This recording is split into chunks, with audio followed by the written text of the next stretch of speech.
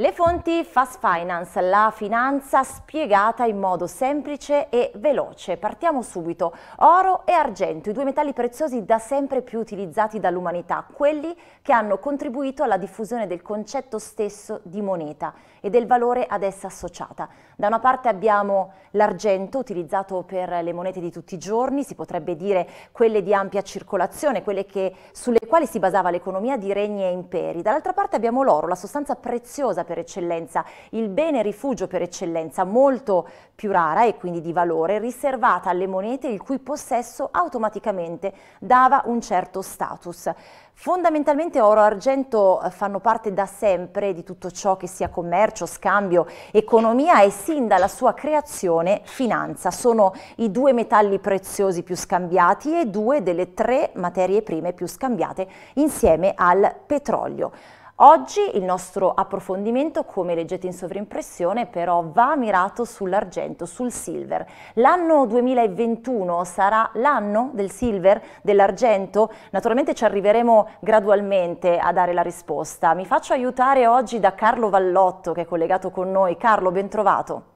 Grazie, bentrovati a voi. Sì, hai detto giusto, ottimo il titolo, il 2021 sarà l'anno del silver. Ecco, eh, volendo un po' uh, dire, ecco, diciamo che tutti gli anni vanno bene per, per, il silver, per i metalli preziosi in particolare, proprio perché sono dei beni rifugio, sono dei beni materiali e quindi sono uh, assolutamente hanno un valore intrinseco Uh, indipendentemente dal valore di mercato, dal valore del prezzo. Quindi uh, sicuramente ci saranno dei driver particolari che adesso magari andremo ad approfondire, però ecco l'anno del silver uh, in particolar modo è qualsiasi anno. Spesso, Carlo, partiamo anche da questo presupposto, ci si chiede cosa sia meglio investire. Io ho, eh, volutamente sono partita proprio dall'oro e dall'argento, come abbiamo detto, eh, insomma, i metalli preziosi sui quali l'attenzione si concentra maggiormente. Eh, partiamo proprio anche da questa riflessione per fare una panoramica generale economica sul silver, perché oggi parliamo di questo, però spesso la domanda di base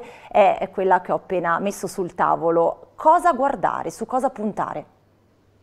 Beh, eh, diciamo che ecco, la cosa interessante è che l'oro e l'argento sono due, eh, sono due metalli eh, eh estrem- estremamente rari, quindi eh, diciamo che la maggior parte dell'oro è stata, eh, sono circa intorno un po' meno di 200.000 tonnellate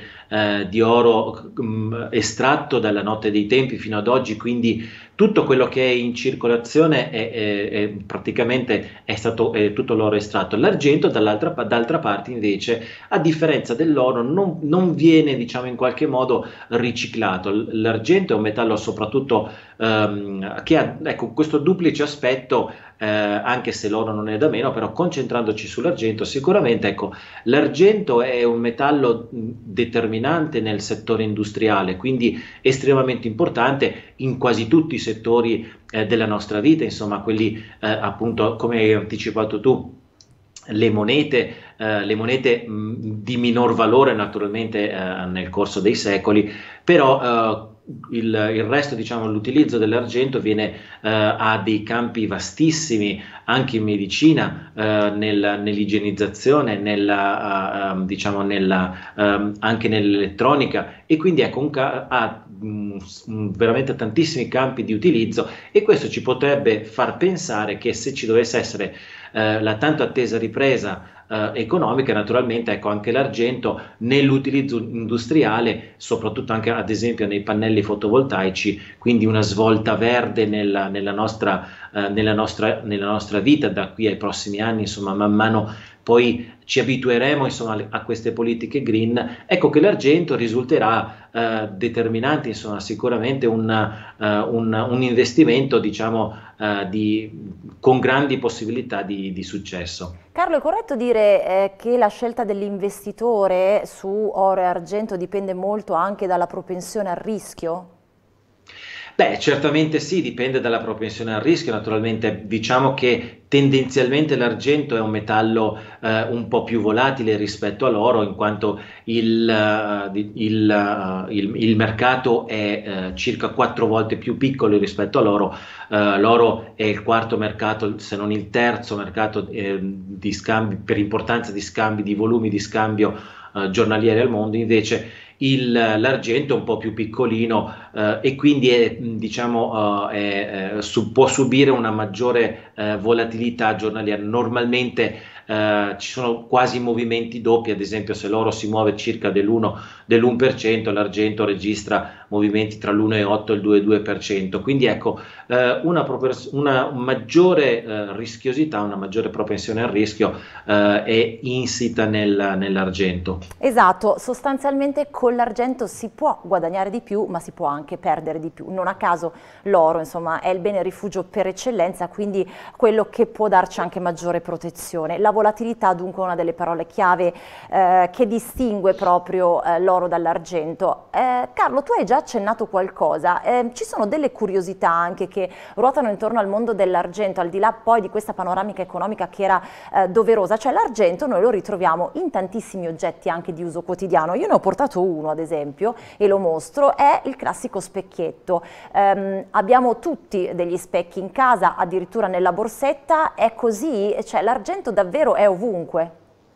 Sì, l'argento è ovunque, anche sono de, diciamo, delle curiosità simpatiche, nel senso che tante volte magari l'utilizzo proprio che noi facciamo giornaliero di tantissimi oggetti, eh, come appunto lo specchio, tutte le mattine, tutti i giorni, insomma, ci, comunque ci confrontiamo con il nostro specchio e nello specchio è, eh, anche se magari a volte possono esserci dei, eh, dei, materiali magari innovativi, però tendenzialmente lo specchio è formato anche con delle particelle di argento, proprio perché l'argento riflette e eh, negli specchi della nonna, diciamo così, se, se andiamo a vederli, eh, e sono più scuri proprio perché si è ossidato l'argento in essi contenuti, class, le classiche macchiette insomma scure negli specchi che vediamo eh, a casa dei nostri nonni. Ecco, questa è proprio la motivazione eh, perché in essi è contenuto, è, contenuto, è contenuto argento. Chiaramente poi l'argento viene utilizzato ad esempio anche come antibatterico eh, nelle piscine, nei filtri delle piscine, nei, nel, negli spazzolini da denti,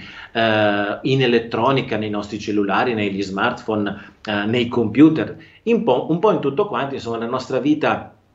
è, eh, eh, diciamo, è, nelle automobili chiaramente. Ad esempio una curiosità è che nelle automobili eh, diciamo a, con motore a combustione vengono utilizzati circa eh, una quindicina di eh, dai 15 ai 50 grammi di argento eh, il futuro invece sarà se nelle macchine, le, nelle macchine elettriche addirittura questo, questa quantità dovrebbe addirittura raddoppiare ecco perché appunto si parlava dell'elettrificazione quindi di questa svolta green e quindi ecco anche impattare molto sul, uh, su, sicuramente sul prezzo dell'argento e sulle quantità. Soprattutto dobbiamo ricordare la, l'utilizzo nei pannelli fotovoltaici in tutto il mondo si sta cercando sempre di più questa energia rinnovabile, quindi uh, in Cina, in America, Uh, ovunque naturalmente in Europa ci sono delle politiche a favore di questa, di quest, diciamo, di quest, dell'utilizzo dei pannelli fotovoltaici e anche se naturalmente con delle fluttuazioni, però l'utilizzo dei, eh, diciamo, lo sviluppo futuro sicuramente sarà eh, determinante in questo settore. Altro aspetto da conoscere quando parliamo del silver, ma soprattutto eh, dei due metalli preziosi per eccellenza, appunto eh, l'argento e l'oro, è che questi due metalli preziosi sono eh, confrontati continuamente l'uno con l'altro attraverso uno strumento particolare che è il rapporto eh, gold-silver. Carlo, quali indicazioni ci suggerisce questo rapporto? Rapporto? Sì, eh, il rapporto gold-silver, il gold-silver ratio è, il, è sostanzialmente diciamo, il, il, pre, il rapporto che eh, sottostà al, diciamo, alla frazione eh, che mh, mm, prende il, prezzo dell'oro come valore al numeratore, al denominatore il silver. Quindi ecco il rapporto il, il, rapporto tra questi due prezzi ci dà un'indicazione, ad esempio il valore attuale è intorno ai 72, 72 punti. Ad aprile, quando ci fu primo, uh, la prima chiusura, il lockdown, Uh, addirittura arrivò ai massimi storici ai 120, 100, intorno ai 125 punti, però mediamente, mediamente intorno ai 70-80, diciamo intorno all'area valore intorno ai 60-70 punti. Questo ci indica che cosa? Che quando il valore è più elevato, eh, ad esempio intorno agli 80-90, conviene eh, investire più rispe- in, in, nell'argento piuttosto che nell'oro, ovvero quante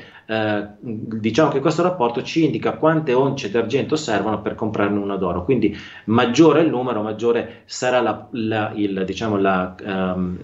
possibilità di avere un, un, ritorno maggiore nell'argento rispetto all'oro. Ecco, questo è un, un indicatore estremamente utilizzato uh, dai fondi di investimento, dalle banche d'affari, proprio per coloro che, e soprattutto anche dalle aziende che lavorano in questo settore qua, proprio per cercare di capire qual è il momento opportuno per acquistare appunto l'argento rispetto a loro.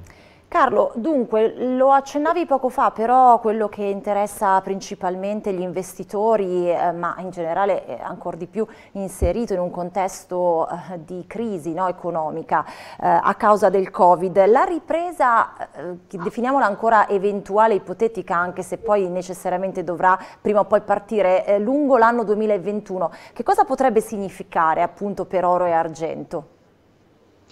Beh, per oro e argento diciamo che eh, adesso siamo chiaramente tutto, uh, tutto è, mh, mm, diciamo, è, aleatorio, nel senso che non abbiamo delle, delle certezze. Eh, sappiamo che in questo momento appunto siamo immersi in questa situazione eh, eh pandemica piuttosto importante, insomma, la prima nella storia eh, del, dell'età moderna, diciamo così, dei mercati finanziari, non, non, guardando quelle del passato, chiaramente. Questo naturalmente porterà degli sviluppi e sicuramente ecco, potrebbe essere interessante avere entrambi i metalli perché qualora dovesse esserci un ritorno ai beni rifugio, ovvero una uh, diminuzione dell'appetito a rischio, quindi una diminuzione del, dei corsi azionari, ecco che l'oro farebbe la sua parte, nel senso ci proteggerebbe, oltre al fatto che è attesa anche eh, diciamo una, un'inflazione eh, in aumento eh, rispetto diciamo, a quella che è l'inflazione sonnacchiosa che abbiamo visto negli ultimi 5-6 anni. Quindi ecco,